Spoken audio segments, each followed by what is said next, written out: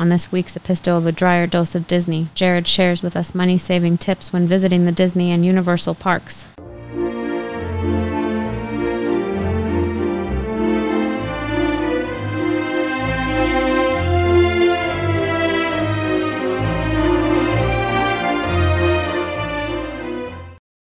Welcome to another episode of A Dryer Dose of Disney. I'm your host, Jared Dryer. And today we've got an episode that a lot of you have been asking about that I'm sure is going to be a very popular episode. And that is how do I save money when I go to the parks? As we all know, the parks are probably one of the most expensive vacations you can take. And saving money is definitely something on the forefront of most of our minds. We don't want to go out there and go into so much debt that we spend the next few years trying to get that all paid off. We want to be able to go out there, have a great time with our friends and family, and be able to come home with a little bit of money left in our pocketbook, if at all possible. So, we want to talk about that today. How do you go to these parks? How do you save some money? What are the tips and tricks there? And actually, I've got a ton for you. So, we're going to go through those and we're going to have a good time. So, definitely, you want to stay tuned. Our best tip is going to be at the very end. That's our I can do this all day tip of the week. So you're going to want to stick around for that today. And speaking of I can do this all day, tip of the week, we have got our merchandise coming in. You guys can see the water bottle behind me over there, over my shoulder. We also have these really cool new large fanny packs, and these are the big ones that you can wear across your back. And this is my new bag I'm taking to the park because I can uh, fit a pair of flip flops or shoes in here as well as my poncho. And it's a small enough bag that when I go to Universal, it will fit in the lockers if I ever need to do that. So uh, we definitely encourage you check out our bags. We've also got backpacks and a couple other options there. And then, hey, we got one of our really cool shirts. So for those of you that are watching us on the YouTube version, uh, you're going to be able to see this shirt that I'm wearing today. And I'm going to sit back so you guys can see it on camera. And it's a baseball style shirt. It's a two tone, so white shirt with blue sleeves. I can do this all day. Again, that's available at our Etsy shop, so we encourage you guys to check it out. And then wherever you're listening to us today, go ahead and click that subscribe button. We definitely are looking for subscribers so that way you get this content delivered to you immediately when it becomes available every single Tuesday because we do release our episodes every Tuesday. And as a matter of fact, this episode we're recording right now, this is our 12th episode.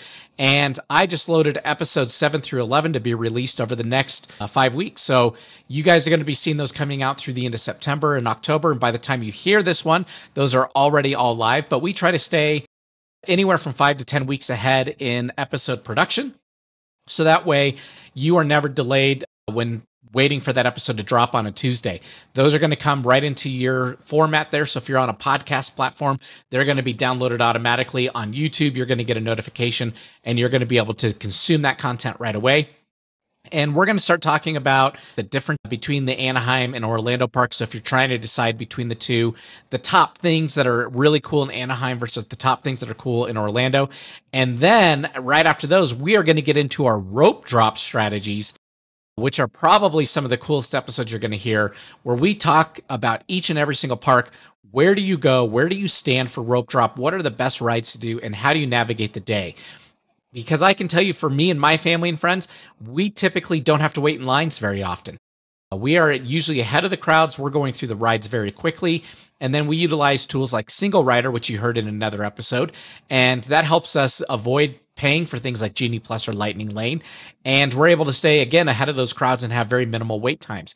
We are able to, throughout the course of a single day, go through an entire park of our choosing. So whether that's Universal or a Disney park in Orlando or out in Anaheim, and we are able to ride everything we want to ride and still have leftover time if we ever want to go back and ride something else you definitely want to tune in for those episodes. Those are coming here in the next few weeks. And I will say, just at the rate we're going right now, those will probably be delivered as a Christmas gift right before the end of the year. And you guys will get access to all the parks. And again, we're going to do all four Disney Orlando, both of the Disney Anaheim parks, and then we're going to do Universal Hollywood as well as the Universal parks in Orlando. So you definitely want to tune into those. So please click that subscribe button again Dryer Dose of Disney, wherever you're listening to your podcast, or if it's out on YouTube, and you will get that content delivered to you once that's ready to go.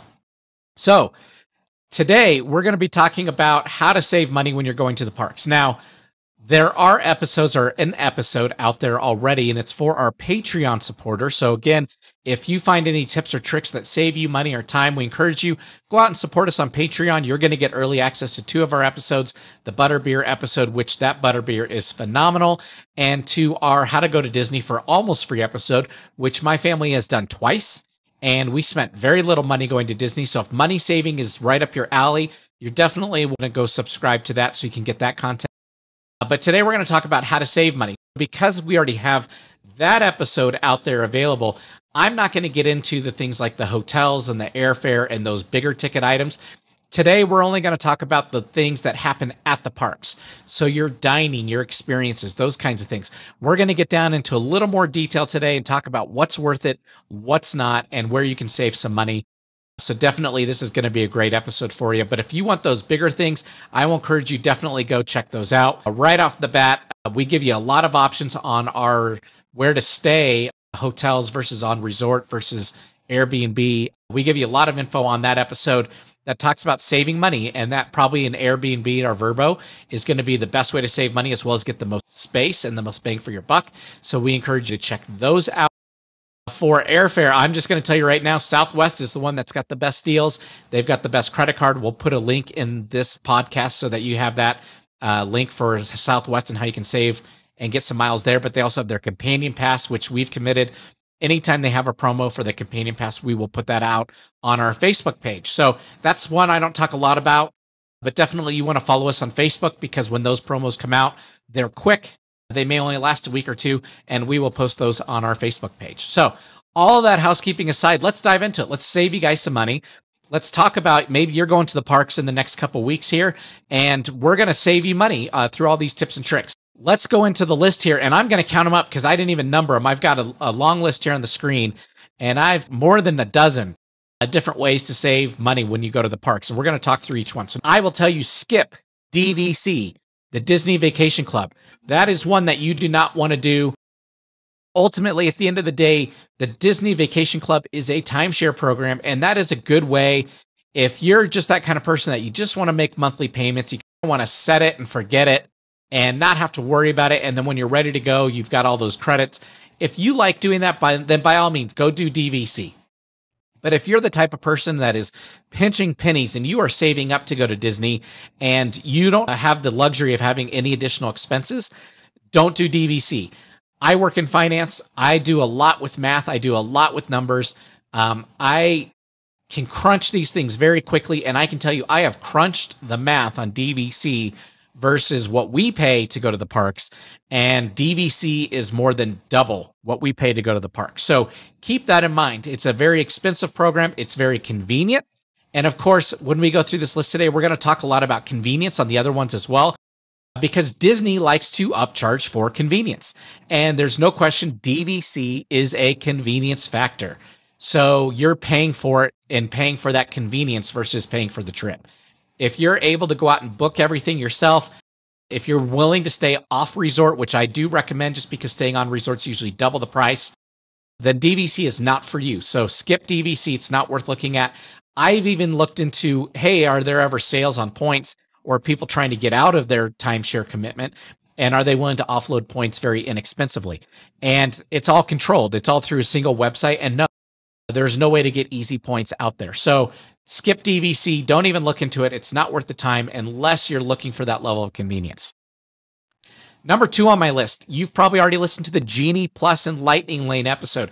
If not, I'm going to encourage you go back and listen to that because we talk in detail about how those work, where the best parks are to use them, and should you use them or not. And in that episode, I talk about between the Genie Plus and Express Pass at Universal. To me, it's not worth it. You can still get to the front of the lines using single rider or using other uh, methods like going there early for rope drop and being first into the park. And you're going to shorten your wait times significantly just by doing that. So, do you need to pay an extra 15 to $20 a day or over at Universal an extra like $80 a day to for this express pass or the Genie Plus or Lightning lanes? No, by all means, you do not need to do that. In fact, in that episode, I tell you probably the only park that may be worth it is Magic Kingdom.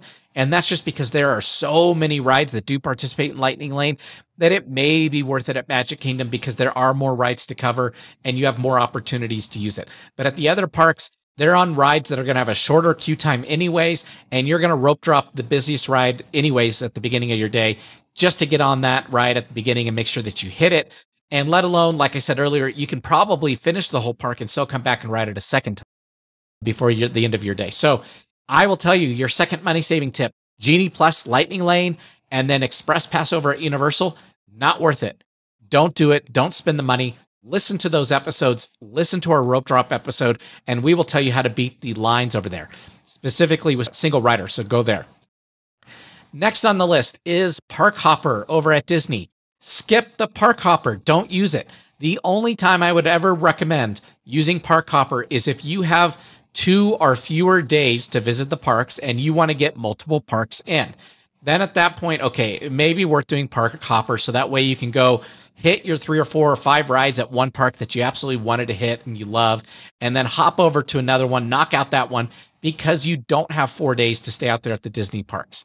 I can tell you right now, the only park hopper that we ever do is at Universal Orlando, and we do the park to park pass because you can do both parks in one day. So that way, if you're on the ground out in Orlando for a total of five days, you can hit your four Disney parks with one park per day pass. And then you can park hop that park over at Universal and hit both of those because they can totally be done in one day. And we will talk about that on our rope drop strategy for Universal Orlando. Out in Anaheim, Universal's only a half day park, anyways. You're going to spend a full day at Magic Kingdom and probably a full day at California Adventure as well. So, with those, there's no point in doing Park Hopper over there. Plus, Park Hopper is going to cost you quite a bit more. It is a one time fee, no matter how many days you go. So, that is a benefit of it. But I'll tell you, you can do a full day at each park.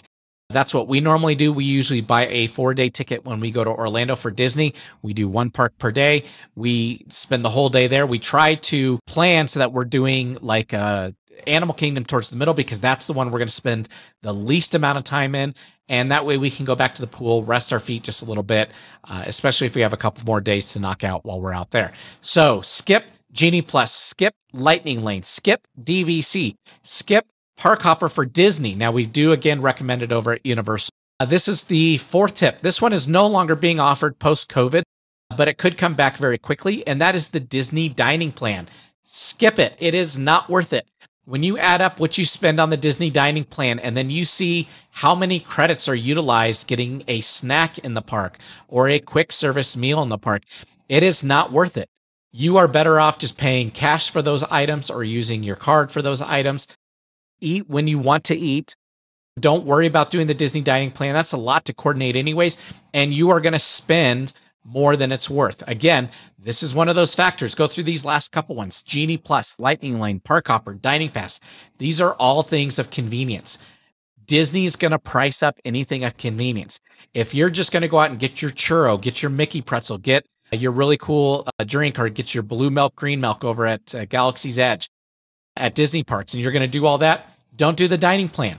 It's not worth it. You can still do your reservations, you can still do your meals at the quick service or the sit down restaurants up there, and it's going to be cheaper than the dining plan. So that is one that we definitely say skip.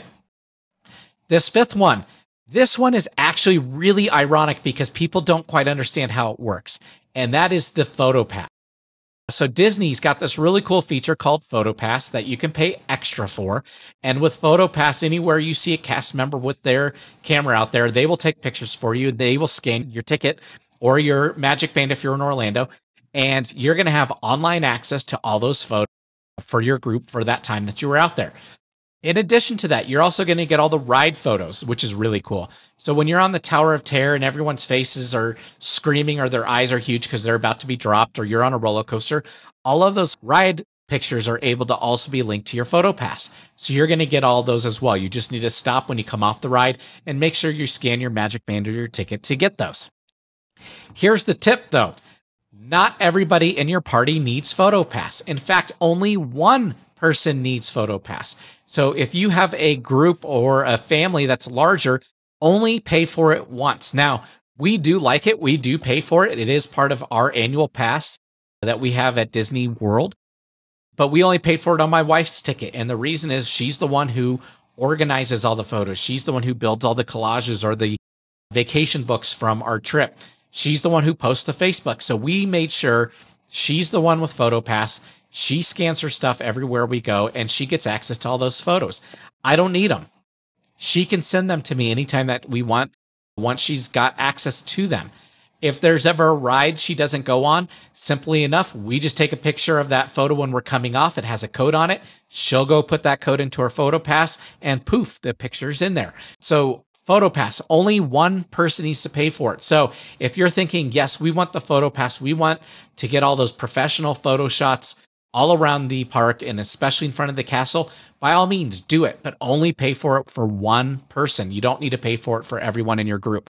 So that's something that a lot of people don't think about.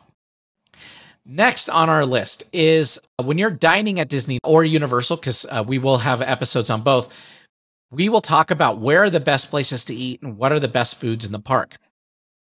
More often than not, the quick service restaurants have just as good food as the uh, big sit down restaurants. Now, the experience is going to be very different. The sit down restaurants that you can get reservation for, some of them have character dining. And in fact, one of our absolute favorites is Tusker House over at Animal Kingdom. And it's probably one of the best restaurants at Disney. The food over there is phenomenal. It's traditionally it's a buffet style, but it, during COVID and post COVID, they now do it family style where they bring all the food to your table and you're able to go through and eat all that. It's also a character dining location where Mickey and all of Mickey's friends are going to come around in their safari get up and they're going to meet you at every single table. So you get a good chance to get autographs, to take pictures with Mickey and all of his friends. So that's a really cool feature as well. So we don't want to downgrade any of those or say it's not worth the experience. They are totally worth the experience. But eh, does every single meal have to be eaten at a sit down restaurant? By all means, no. And in fact, if you're doing more quick service and you stay very agile and mobile, you're going to get more out of your day and you're going to get to ride more rides and you're going to get to keep moving. So, for example, and this is what we like to do. If we're at Magic Kingdom in Orlando and we start to get hungry, there is over by Fantasyland, there's the Cheshire Cafe. That's not even quick service. That's just a window. We are going to go get uh, one of their croissant Cheshire Cats tails that are really great. Uh, they've also got some other cool treats and some drinks. We're going to go grab those. That's going to take us five minutes. And boom, we are back in line, ready to go. We're going to go get a LeFou's brew when we're back by Ariel's uh, ride, Undersea Adventure. And we're going to drink the LeFou's brew while we're in line. We're going to go get the blue or green milk while we're out there at uh, Galaxy's Edge. And we're going to go take that as we walk through the park and, and keep going. As you can tell, we like to eat as we move.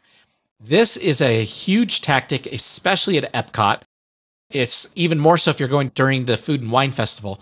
Go to the kiosks, try all the foods, make your way through the park. You do not need to go sit down and do the sit down meals every single time. You are going to get plenty to eat from the less expensive quick service style stations around the parks. So, because of that, you can save money by not reserving every single lunch and dinner. If you're doing the big restaurants, you're doing the Space 220 or like Tusker House, like I said, that can be upwards of $70 a person. If you go to quick service, you can get out for less than $10 a person or just over $10 a person. And we like to share meals quite often because we're going stand to stand. We like trying out all the different foods that are out there. So that is a great way to save some money is skip the sit down restaurants. You only need to do a couple big reservations per trip. Spend the rest of your time out there hitting the stands, getting the snacks and enjoying things out there. Okay, so our next tip over there is the seasonality of the tickets uh, prices in the hotels. So this is something that has changed very recently, especially for Disney, but not as much so for Universal because they've always had pricing by demand. But Disney obviously prices their tickets in their hotels lower in the off season than they do in the high season. For example, one of the slowest months all year is late September before they kick off the Mickey's Not So Scary Halloween party or the Halloween Horror Nights out at Universal. The reason is kids are back in school. It's post Labor Day. There's no big holidays around there. And so that third and fourth week of September, if they haven't started the Halloween parties yet, are a very slow time, which in fact is why they have now started bumping the Halloween parties further back into September, is to help drive tourism during that time. So if you go during that time of year or you go during February, you're going to find the lowest ticket prices and the least expensive hotels. Now, of course, if your family's all going to go, you're probably going to have to pull your kids out of school to go during that time. And that's what a lot of parents don't want to do, or schools don't want you to do. So that's a good time to go if you want to save money, but it's also a challenge if you have kids that are in school. So you can always look at seasonality of the tickets and the hotel prices. Of course, if you're a couple, and in fact, I talked to a lot of couples that are newlyweds, they're doing this for their honeymoon. This is their first trip out there. You, especially, I will tell you, take your vacations at that point in time. Go in February, go in September. Go when spring break it's not happening. Go when no one else is going to the parks typically the crowd levels, if you listen to the crowd level episode, are going to be very close to the same just because enough people are willing to travel and or go internationally that the reservation system is going to get booked out. But you will typically see smaller crowds at Disney Springs, or maybe not all the reservations are taken, and you have a lighter day at the parks. But you're going to save money if you go at that time of the year. So that is always a good thing to think about is when do I want to go during the year? Now, of course, if you're going to go during the summer, during spring break, during Christmas break, you of course are going to spend more money than you would otherwise because they're going to upcharge you for all that. Again, Universal's been doing this for years. Disney just jumped on the bandwagon with their variable pricing, and that's going to cause a difference in what you spend. The next tip is actually very counterintuitive and it's going to totally depend on what your budget is and how you like to travel and what you want to do going to Disney. And that tip is stay more days. Okay. And again, that's counterintuitive because right out of the gates, you're going to realize, hey, if I stay more days, I'm paying for more hotel. I am paying for a rental car for longer. I'm paying for more food. Yes, those are all totally true. However, if you do stay more days, you do know the longer you stay, the longer ticket packages you buy, the less you're going to pay per day. So that is a way to save money if you want to go multiple days or hit each park multiple times. I will even go to the next step and say if you're willing to do that and you're planning to stay a while, it is worth looking at annual passes. Now, today that only works at Universal because Universal is the only one selling them. But at Disney, if they ever do reopen up their annual passes for people that don't live in Florida, if you want to stay multiple days and you're going to be out there a while, it is definitely worth looking at an annual pass. And we're going to talk about that again later here in our list. But the more days you stay, the less you pay per day. Okay. So again, counterintuitive, but a way to save a little bit money there. Now, jumping into the food and drink area outside of the restaurants. Let's talk next about drinks and specifically water because you should be hydrating yourself while you're out there. My sister's big into fitness, and so we always like to joke hydrate or dihydrate because if you do not get enough water, that you will die. So it is important for you to take a water bottle with you and drink plenty of water while you're out there. But here's the tip. You are allowed to take a refillable water bottle with you into the parks. You can have it filled with water from your hotel or wherever you're staying as you come in and you're able to drink that throughout the day. So that's a savings right there, is because you're not having to buy that. Once you're in the park, the parks also have uh, water fountains throughout all the parks. Also, every single park, every park I've ever been to, if you ever go to a quick service counter and you ask for a cup of ice water, that is usually free. Okay, so you can always get free water in a cup from any quick service restaurant. Now, if you look at their menu, they're going to show you the bottle of water. Dasani water, Aquafina. They're going to show that to you up on the board, and you're going to pay about three fifty or four dollars per bottle of water. So, of course, if you'd like to, you can buy a bottle of water, especially when you're in Orlando, because Orlando, the water there is very smelly if you're getting it out of the fountains. So, if you listen to our top things to bring with you to the park episode, we talk about water bottles, and some of them have charcoal filters, and we recommend that in Orlando but that's a way then you can refill your bottle anywhere you go and you can drink it and it's not going to smell or taste funny because that charcoal filter is going to clean all that out for you. So you want to always be sure that you're getting water. Uh, water is free. Bring in your water bottle. That is free. They are not going to stop you. You can also bring in your own snacks. That's a way to save some money there. People will go to Walmart, buy a whole thing of granola bars and bring them in with them or do something like that.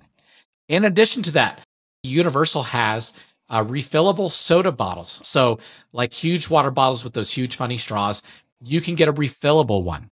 So, if your family likes to drink soda and they drink a lot of it, you can get one of those and they will let you refill. I believe it's every, it's either every 15 minutes or every 30 minutes. They do have a QR code on the bottom or a way to scan the bottom to know how quickly you're filling your bottle. Because what they don't want you to do is go fill it, go fill up three other people's bottles, come back, fill it again, fill up more people's bottles. So they do have a time limit. You can't go back immediately. You do have to wait a little bit, um, but you're able to refill that throughout the day. Those are obviously more expensive. They're in the teens. I believe they're about $15 for the bottle for the day. But like we do, there's three of us. We will buy one and we are not afraid of germs in our immediate family. So my wife, my daughter, and myself, we will share the same bottle and uh, we will go out and refill that with soda throughout the day. That is much cheaper than paying four or five dollars per fill up just because you're going to get so much more of it. And then what we like to do, because at Universal, they have those cool Coke machines where you change the flavors. We'll let someone else each time go get the new drink and they'll pick their flavor and they'll pick what they want. And then we'll share that until uh, it's time for us to get another one or until we drink it and we'll go do something different. So that way our daughter gets a chance to pick what she wants. I usually pick a diet cherry Coke. So does my wife. So that makes it real easy between the two of us. But then my daughter gets a chance to do it as well. So get those refillable drinks uh, out there, as well as like Disney has refillable popcorn. That's a great opportunity out there, but that's going to save you some money as you go through the parks. Next is you want to buy things like your Mickey ears, the cool headbands with the ears on top, autograph books. If you want to get pins and you want to do pin trading, any type of souvenir you can buy in advance of going to Disney and take it with you, bring it into your luggage, and have it at the hotel to give to your kids. For example, if you know your kid's going to want a plush Mickey, buy it in advance. You could even probably wrap it or keep it in, in, something. And then when they see it at the parks, just say, hey, yeah, we'll get it and we'll have it at the room for you. And you already have it because a plush Mickey done by Disney is going to look almost exactly the same, no matter if you buy it at the park or you buy it at Walmart before you go or a toy store before you go. You can even buy them online at Amazon. So that's going to save you money because that's going to be less expensive to do that. Specifically, though, things like the autograph books or the Mickey ears are way less expensive outside of the parks before you go. And then that way you can wear them into the park when you go. You don't have to go through all the stores and go find them all. And in fact, take it a step further, and I'm going to highly recommend going to Etsy. If you go onto Etsy and search Mickey ears, you're going to find very unique ones that are not for sale in the parks because they're made by another individual. Some of those are amazing. And I want to encourage everyone go out and check Etsy if you are interested in Mickey ears because they have versions for guys, they have versions for girls, they have versions for kids. And you can find your favorite characters out there on Etsy and you're going to help support a small business. It's going to be less expensive than the parks. And that's a great way to get your ears. For us, our shop for I Can Do This All Day merchandise is also available out there on Etsy. So you can go search that and you can purchase some of that. We, like I said, have backpacks, water bottles, those kinds of things. Next tip is if you're going to Orlando, Universal or Disney, buy and bring your own poncho. Now, of course, I am talking about probably the dollar store ponchos, the ones that are very small. They're a single use. You're going to tear them off when you're done and throw them all away. You can buy a whole set of those at Walmart and bring those in with you, or you can even order them on Amazon. But in Orlando, it rains almost every single day. You are going to want a poncho almost every single day. And if you buy the disposable ones, then you know when the rain stops and it's still all wet, you can tear it off, you can throw it in a trash can, and you don't have to worry about mildew or any type of buildup as you're staying out in Orlando because it's very humid and things don't dry very well there. You can also, if you have a nice rain jacket, bring it with you. If you're buying a poncho in the parks, those run 12 to $14. And the ponchos in the park are tough to find, especially when it starts raining, because everybody goes and buys them. Those ponchos are a bit more durable, but we have found that they typically only last about a week's worth of park visits, so about four to five visits before they start tearing and falling apart. So you're better off just go spend four or five bucks on disposable ones. You can throw them away every single time that you use them and bring those with you into the park. So ponchos are definitely a way to save some money before you go in there.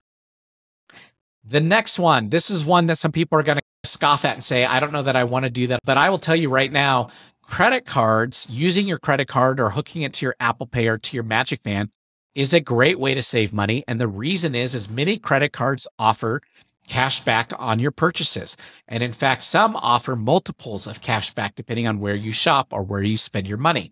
So let's say I've saved up all year to go to Disney. I've got a couple thousand dollars saved up for that trip.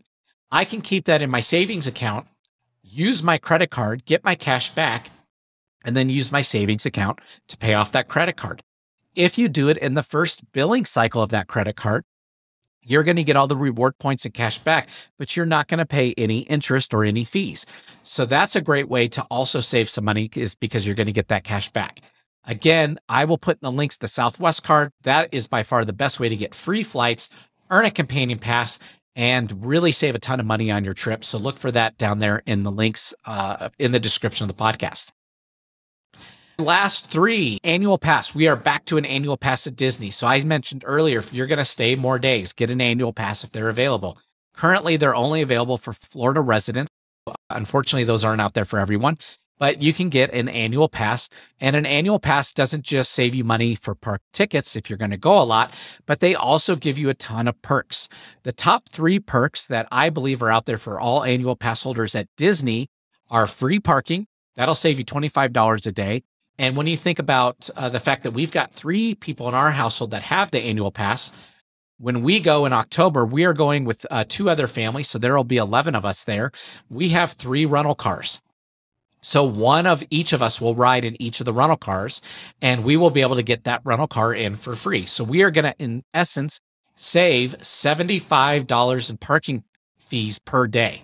Now, yes, we could have gone out and gotten a, a 15 passenger van and gone in just once, but those are really expensive. We have instead three compact cars.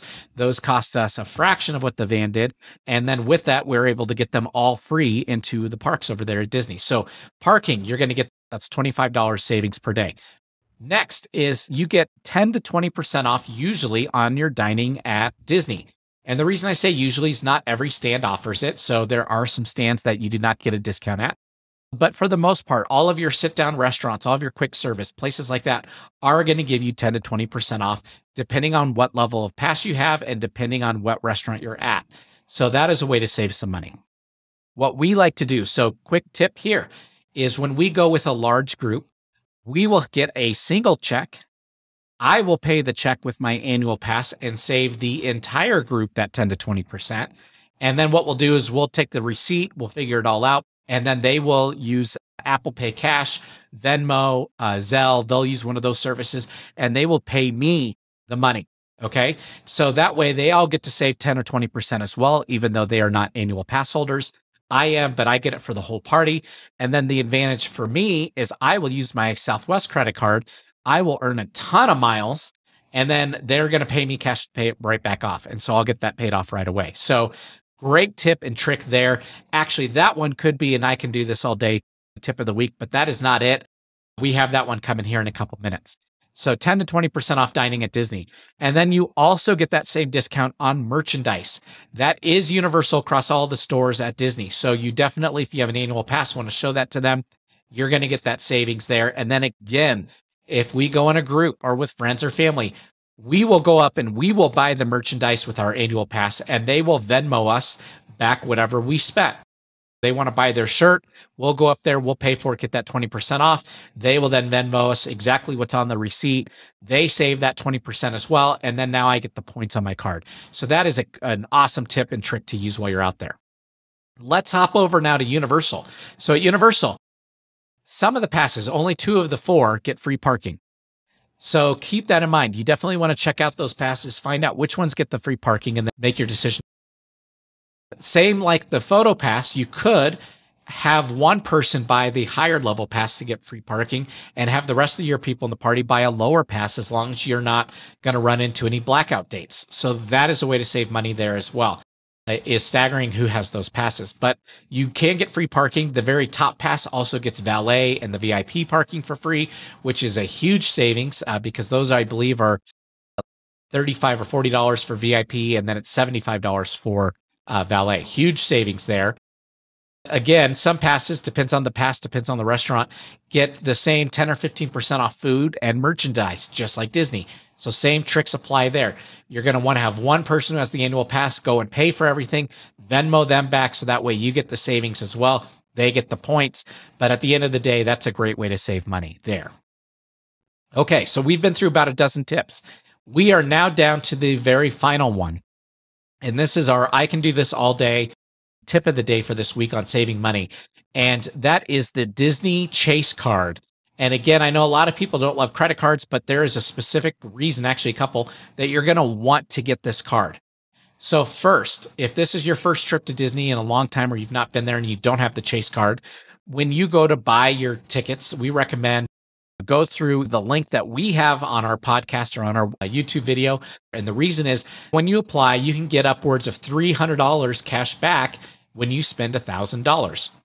So if I'm going to buy my tickets and I've got a family of four and it's going to cost me nearly a thousand bucks, I can use that card and get those tickets and I'm going to get 300 cash back immediately in the form of a statement credit. So that's going to save me money on my tickets right there, right out of the gates. And if I have a smaller family, don't hit a thousand bucks, I can use that card to purchase my airline tickets or purchase my hotel. And now I will pass a thousand dollars and I'm going to save that 300. That's a 30% savings right off the bat with whatever you use on that card. So that's a huge advantage right there. Again, we have it in the links. Go click that link and then you're able to uh, get that savings there. But in addition to that, when you use your Chase card at the Disney parks, just like the annual pass, you're going to get 10% off dining and merchandise. Okay, so a little bit less of a discount, but still a discount nonetheless. If you're going to all the stores, you're going to get 10% off. So if you're with a group, exact same thing that we just talked about. Have one person get that card, have them pay for everything so that you get 10% off everything you do. Pay them back. That's a way for everybody to save money through a single card.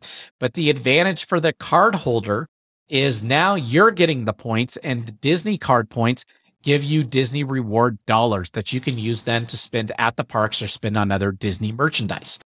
We like to get all those rewards built up we'll see something really cool in the parks that we want.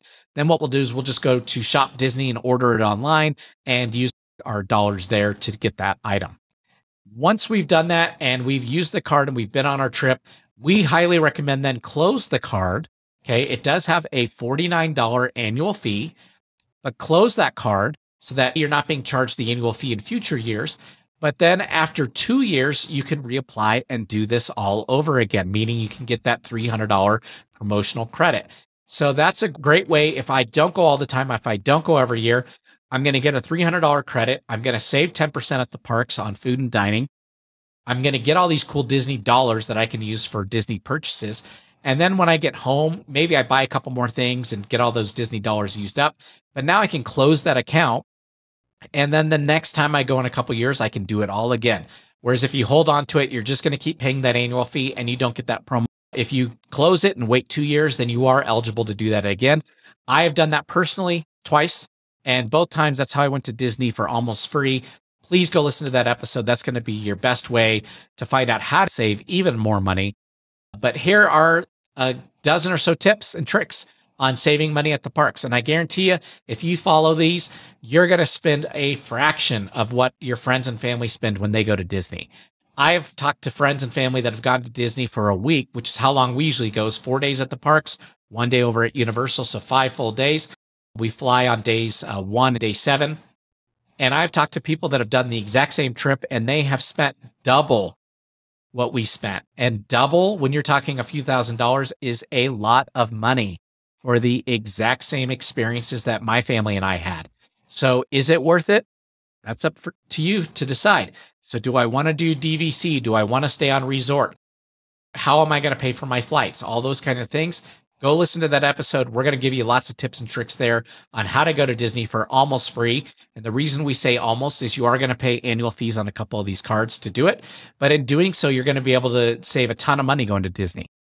I have literally done a whole week in Disney for less than a thousand dollars. When you imagine that uh, you're going to spend probably four to five grand to go to do it for less than a thousand is a huge saving. So trust me when I say I've done it personally. Go out and listen to those episodes. They're a great way to learn how to do that. And then you again can do that multiple times throughout your life. You can do it, wait a couple years, do it again, wait a couple years, and just keep doing that. But listen to that video for those tips and tricks. So thank you for joining us today. We hope that you saved some money today. If you did, hop on over to Patreon, support us there. You're going to get access to those other episodes on saving money and the butterbeer episode. And that helps keep our podcast going as well. So we appreciate our subscribers over there and our supporters at Patreon. at a Dryer dose of Disney. So check us out there. But have yourself a magical day, and we will talk to you next time. Bye bye.